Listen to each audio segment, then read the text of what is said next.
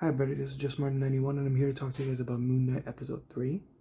So this one is very heavy on the exposition.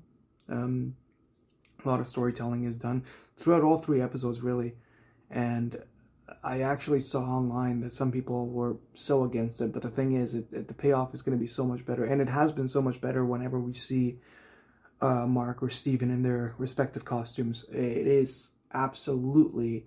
Um, uh, worth worth the the the journey you know?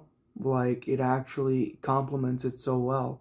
There are so many areas in this episode where it dives deeper and deeper into the uh, Egyptian lore that it has been building up towards for now uh, really honors the cliffhanger of uh, episode 2 and uh, I honestly can't wait to see what comes next. At this point uh, I believe I even heard the reviews from earlier, and uh, I think it's just going to get crazier from now on.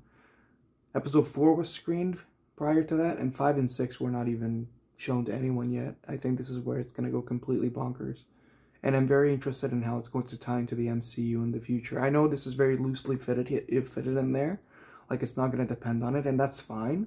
But what I'm hoping is that this series, as innovative as it is right now, as new flavors as it brings to the environment right now, that is actually going to infuse the future of the MCU with something very concrete that we can actually carry on and uh, bring forth in some grander schemes even, you know? Like, it's going to be very nice to see how this unfolds for the future of the series and for the franchise in of itself.